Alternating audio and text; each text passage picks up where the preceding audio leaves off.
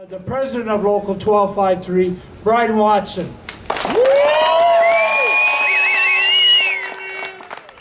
Mr. Premier, I sat in the lockdown before the budget and I read in there that you were going to increase education by 3%.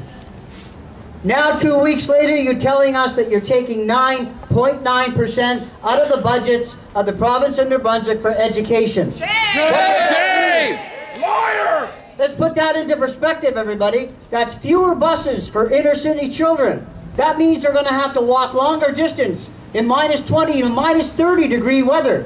I challenge anybody in that building that sits over there and behind us to walk every day in minus 20 and minus 30 degree weather on streets that are not plowed because of the cutbacks in the cities. They better take their slippers off. In our rural areas, 45 schools are being targeted in the province of New Brunswick right now. They added a new clause in their, in their 409 policy. That means if there's 100 children or less in that school, or 30% less usage, they're going to close those buildings without consultations. Shame! It means less cleaning in the schools.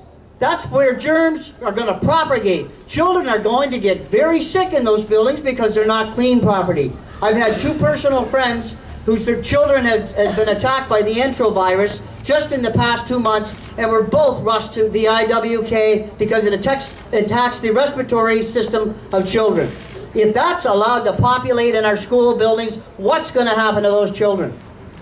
Mr. Shame. Premier, I Shame. say stop playing with the children of New Brunswick, the seniors of New Brunswick, the people of New Brunswick are the stakeholders who should be in that building right now.